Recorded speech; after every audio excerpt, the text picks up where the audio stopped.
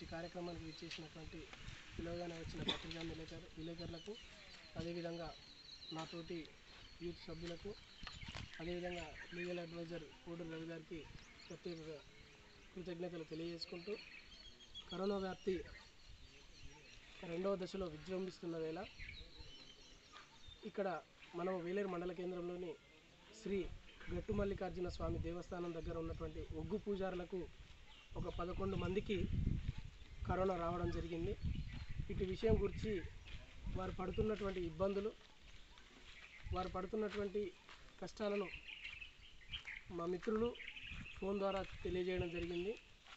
అంతేకాకుండా వారు ఇక్కడికి వచ్చినప్పటి నుండి ఒక వ్యక్తి నుండి తనకు ఈ కరోనా వీళ్ళ పదకొండు మందికి కరోనా సోకడం జరిగింది.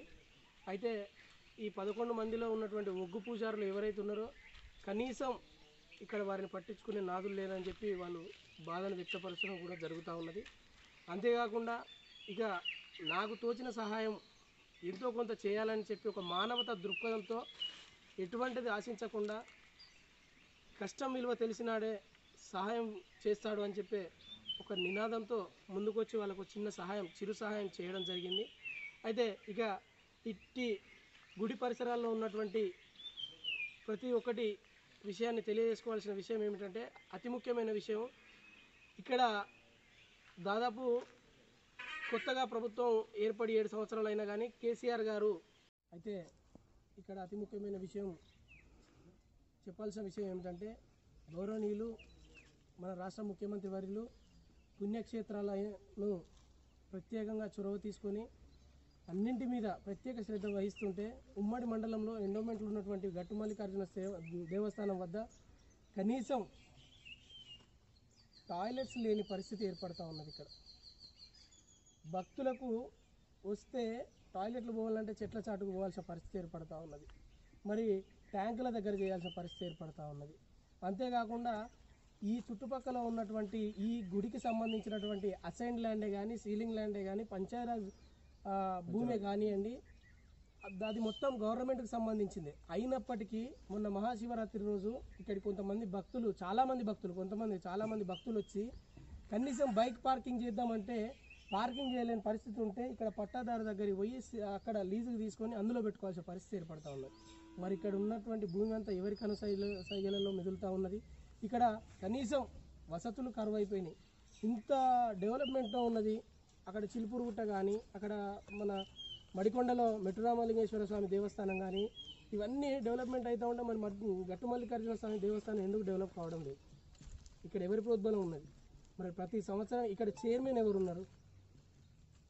చెప్తా ఉన్నారు ఇక్కడ చైర్మన్ నేను రవిని నేను ఉన్నా అని చెప్పి చెప్తా ఉన్నారు. మరి అఫీషియల్గా ఉన్నదా అన్అఫీషియల్గా ఉన్నదా? మరి అక్కడ ఎమ్మెల్యే గారి ప్రోద్బలం ఉన్నదా ఎమ్మెల్సీ గారి ప్రోద్బలం ఉన్నదా? ఏం జరుగుతూ ఉన్నది అనేది కూడా చెప్పాల్సిన అవసరం ఉన్నది. అంతేకాకుండా ఎక్కడో చుట్టుపక్కల ఉన్నటువంటి గ్రామాలలో వీధులలో ఎక్కడో కరోనా వచ్చిందంటే వాళ్ళ ఇంట్లోకి పరిమితం అనేది ఉండేది. అటువంటిది ఇక్కడ ఒగ్గు పూజారులు ఎవరైతే భక్తులకు వారి సేవలను అందించడానికి వచ్చి పాపం కరోనా బారిన పడి వాళ్ళ బాధలను వెళ్ళబుచ్చుకోవాల్సిన అవసరం ఎంత ఘోరం ఉన్నదంటే వాళ్ళ పరిస్థితి అధ్వానంగా మారింది. వాళ్ళ కనీసం రోగిని ప్రేమించలేని వాడు ఉంటే ఎంత చస్తే ఎంత? కాబట్టి ప్రతి ఒక్కరూ ఇటు విషయాన్ని దృష్టిలో ఉంచుకొని ఇక్కడ ఉన్నటువంటి వారు జీవో కేసీఆర్ గారు ఒక జీవో ఇచ్చిళ్ళు చైర్మన్ గారు ఎవరైతే ఉన్నారో ఒకటే సంవత్సరం చేయాలని చెప్పి అందరికీ అవకాశం కల్పించాలని చెప్పి చేసింది మరి ఇప్పటికి మన రవన్న ఉన్నాడు ఇక్కడ. ఆ రవీందర్ గారికి గతంలో చైర్మన్ చేసి మరి ఇప్పుడు ప్రస్తుతం చైర్మన్ ఎవరు? వారు ఎవరిని పట్టుకొని అడగాలి? ఇక్కడికి వచ్చినటువంటి వాళ్ళు ఈ భక్తులు ఎవరిని పట్టుకొని అడగాలి? ఇక్కడ ఇప్పుడు నేనే వచ్చిన ఫర్ ఎగ్జాంపుల్ మరి ఇక్కడ టాయిలెట్ లేవు ఏం లేవు ఎవరిని అడగాలని అంటే గట్టిగా అడిగితే మరి మాకేం సంబంధం అనే విధంగా వస్తూ ఉంటుంది. కాబట్టి ఇక్కడ ఎమ్మెల్యే గారు కానీ ఎమ్మెల్సీ గారు కానీ స్థానిక ప్రజాప్రతినిధులు కానీ అందరూ ఇటు గుట్టపైన దీన్ని డెవలప్మెంట్ చేసేందుకు ప్రతి ఒక్కరు ప్రత్యేకమైన కృషి చేయాలని అదేవిధంగా ఇక్కడ ఉన్నటువంటి కరోనా బాధితులు ఎవరైతే ఉన్నారో ఇప్పుడు దాదాపు ఐదు రోజులు కావాల్సా ఉన్నది.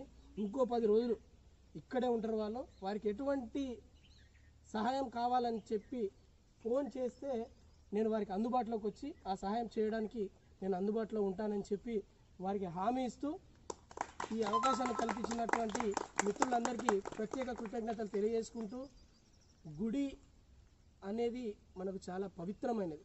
కాబట్టి దాన్ని కాపాడుకోవడం చాలా మనందరి మీద ఉన్నది. ఇప్పుడు వస్తూ ఉంటే కనీసం రవాణా సౌకర్యం కూడా ఒక బస్సు సౌకర్యం లేదు ఇక్కడికి వస్తూ ఉంటే రోడ్డు సౌకర్యం లేదు. చెప్పుకుందామని అంటే పెద్దది పేరు పెద్దదైంది.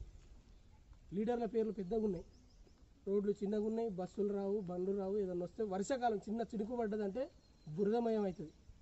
కాబట్టి దీన్ని దృష్టిలో ఉంచుకొని వెంటనే ఈ సమస్యకు పరిష్కారం చేయాలని చెప్పి అంటా ఉంటారు. ఇప్పుడు పక్కన ఉన్న లీడర్లు వాడు వచ్చిందెందుకు? కరోనాకు పేషెంట్లకు ఇవ్వాలి పోవాలనేది కాదు సమస్య. సమస్య ఎక్కడ ఉంటే సద్దాం హుసేన్ అక్కడ ఉంటారనే విషయాన్ని కూడా తెలియజేస్తున్నాను.